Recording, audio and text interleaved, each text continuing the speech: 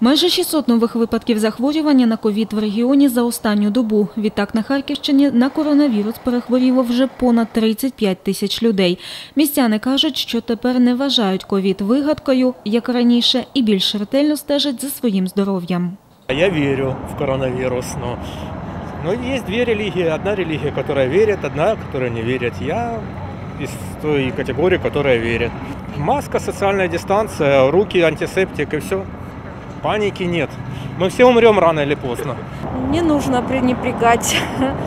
Болезнь здесь болезнь. Тем более, это, э, если раньше это было не очевидно, сейчас очевидно. Очаги, друзья, товарищи, сотрудники есть, которые на самом деле переболели в тяжелой форме, поэтому пренебрегать не стоит. В начале не было, сейчас, да, много знакомых, которые уже умерли, как бы, ну, старший возраст.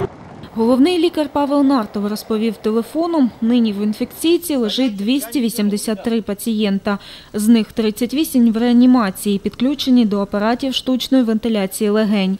У лікарні залишилось всього 8 вільних місць, однак вільних ШВЛ немає. Також лікар запевнив, що з листопада усі пацієнти отримуватимуть безкоштовне лікування, адже Національна служба здоров'я України вже перерахувала півтора мільйона гривень на рахунок лікарні.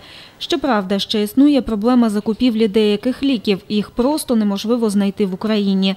Тим часом Максим Степанов на брифінгу заявив, що нині на боротьбу з ковідом держава має виділити ще 2 мільярда гривень. Левова частка цих грошей піде на провадження нового методу тестування.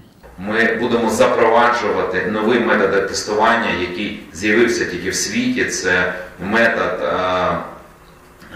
інший, це швидкі тести, тести на антиген, які я вважаю, повинні запровадити в цій нашій країні. Ми вже подали відповідні зміни до певних постанов, а також запит щодо отримання додаткових коштів По Україні ж за добу захворіло понад 7 тисяч людей. Найбільший приріст традиційно дає Київ та Харківська область. Тим часом на грудень фахівці очікують загострення, адже додасться ще й сезонний грип. Буде складно визначити, де ковід, а де грип. А інколи це будуть пацієнти, у яких обидві хвороби будуть одночасно. Аліна Курвович, Олександр Воробйов, Агентство телевидения «Новости».